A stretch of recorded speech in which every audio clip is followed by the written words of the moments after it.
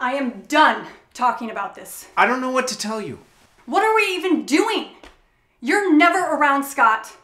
We bought this house so we could make it a home. We talked about having kids. I'm never around because somebody's got to pay for this house of ours. Go on, get it. Lord knows it's a hell of a lot more important than what's going on here. You wanted this house.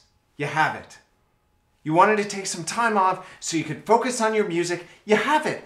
What else do you want from me? You were the one who told me to stop working and focus on my music. I just wanted to be more active in it. I never said I wanted to quit my job. Then why did you? No, don't you do that. Don't turn this around on me. God, you always do that. You make a decision and I go along with it and then later you use it against me. It's bullshit. I'm not using anything against you. I don't even know what this is. It's like every time that we talk lately, you turn it into an argument. What do you expect? You're never around. And when you are, you're a complete asshole. And I'm sorry the house isn't clean enough for This you. This place ain't clean at all.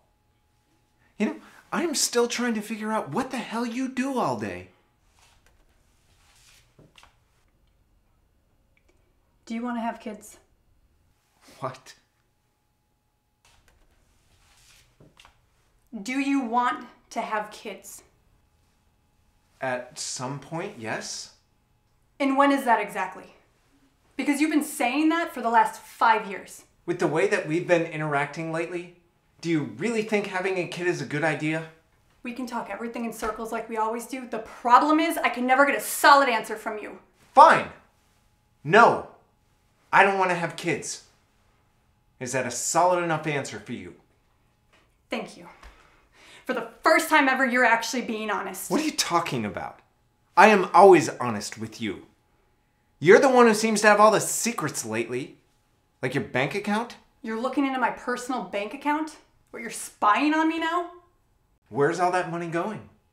Because it certainly isn't going anywhere around here. It's none of your goddamn business. It is my business. I'm your husband. Really?